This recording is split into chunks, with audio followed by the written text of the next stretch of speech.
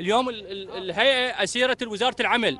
المنشور منشور هيئة ما تقدر تنشر إلا بموافقة وزارة العمل. شنو وفروا لنا اليوم؟ كرسي وفروا لنا نسمع توزيع مليون سلة غذائية لذوي الإعاقة. هسه اسال أي واحد من ذوي الإعاقة إذا مستلم سلة غذائية؟ اراضي اسمعني خليني أسولف لك أنا اللي اسمعه خل خل أسولف لك اللي اسمعه وأنت بعد قل لي اللي يصير لو ما يصير. اولا معطيكم قطع اراضي اسمعني اسمع اسمعني اسمعني هسه بس ما اسمعني يا أخوي. قطع اراضي لكم خصوصية بالمجمعات السكنية. تروح لأي شركة تستلم را... آه، تستلم سيارة من شركات مال السيارات. قروض ميسرة ومشاريع آه، قروض المشاريع بإمكانكم فتح مشروع. هذه موجودة لو ما موجودة؟ هذا اذا صدق حكيت هنا لو ما حكيت أنا أتكلم وياك استلمت قطعة أرض على ضحايا الإرهاب.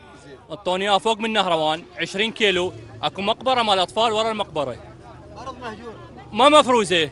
يستلم منك سند فقط بمليون وأنا ماخذين عندي 940 ألف. صار مليونين. صار مليونين. والقطعة ما مفروزة. لا تقدر تبني. وتقول له قطعة مالتي الأرض مالتك وين؟ يقول لك هاي بالصحراء. يابا وين بالصحراء؟ ما أدري. هاي وفرت لي اياه عربانه أنا أشتريها بفلوسي. أنت اليوم تقول لي راتب الراتب هسه ذوي عقد جد راتبه 125 ألف. اليوم أنا أروح المستشفى أهلي إذا آخذ مفراس سعره 150 ألف. وين شنو وفروه لي؟ شنو اللي وفروه لي اريد اعرف سلات غذائيه نسمع بها ماكو. عرباين متروسه الوزارة المه تروح ما ندري.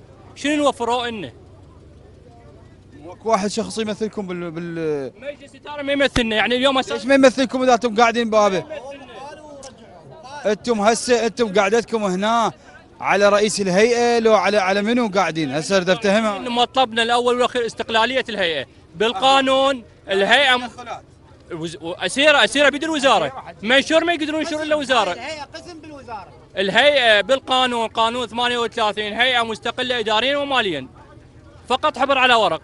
فقط حبر على ورق. الآن كل شيء حتى ال- الشمول هاي نقلوه من الهيئة بيد الوزارة بيد مكتب الوزير. الهيئات الموجودة بالعراق هي مرتبطة بمجلس الوزراء أو مجلس النواب أو رئاسة الجمهورية. إلا هيئة ذوي الإعاقة. هيئه ذوي الإعاقة مرتبطة بوزارة العمل. وهاي مخالفة قانونية لأن ماكو بالعراق هيئة مرتبطة بوزارة. الارتباط تكون بالرئاسات الثلاث.